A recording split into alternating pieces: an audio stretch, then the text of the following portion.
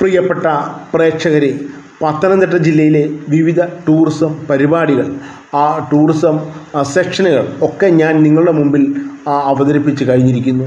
ഈ കാഴ്ചകളൊക്കെ കാണുമ്പോൾ തീർച്ചയായിട്ടും നിങ്ങളുടെ മനസ്സിൽ തോന്നാം ഇതിൽ എന്തെങ്കിലും ഫ്രെയിമുകൾ രൂപപ്പെട്ടിട്ടുണ്ടോ എന്ന് തീർച്ചയായിട്ടും നമ്മൾ കാണുന്ന കാഴ്ചകൾ ദൈനംദിന ചെലവിന് ഉപകരിക്കുന്നവരുൾപ്പെടെ ഓരോ മേഖലയിലുള്ളവരെയും നമ്മൾ വളരെ സസൂക്ഷ്മം നിരീക്ഷിക്കുകയും അതെല്ലാം കാഴ്ചക്കാരുടെ മുന്നിലേക്ക് എത്തിക്കുകയും ചെയ്യുന്നു.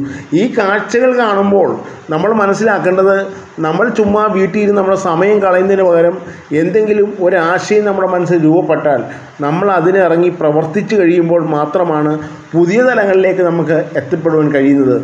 ആരും നിങ്ങളെ കൈപിടിച്ചുയർത്തുമെന്ന് നിങ്ങൾ വിശ്വസിക്കരുത്. കാരണം അത് നമ്മുടെ വ്യാമോഹം മാത്രമാണ്.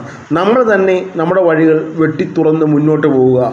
ആദ്യമൊക്കെ ചിലപ്പോൾ നിങ്ങൾക്ക് നഷ്ടബോധമായിരിക്കുമെങ്കിലും പുതിയ അറിവുകൾ നിങ്ങളെ കൂടുതൽ കരുത്തനാക്കുമെന്നും ഏത് സാഹചര്യത്തിലും നിങ്ങളെ പിടിച്ചു നിൽക്കുവാൻ അത് പ്രാപ്തരാക്കുമെന്നും ഞാൻ കരുതുന്നു. ഓരോ വഴികളും സങ്കീർണവും വ്യത്യസ്തവുമായിരിക്കും. എങ്കിലും നമ്മുടെ ആശയങ്ങൾ നല്ലതാണെങ്കിൽ നമ്മുടെ വഴികളിൽ എപ്പോഴും നമ്മളറിയാത്ത ഒരു വെളിച്ചം നമ്മളെ നിരീക്ഷിച്ചുകൊണ്ടേ ഇരിക്കും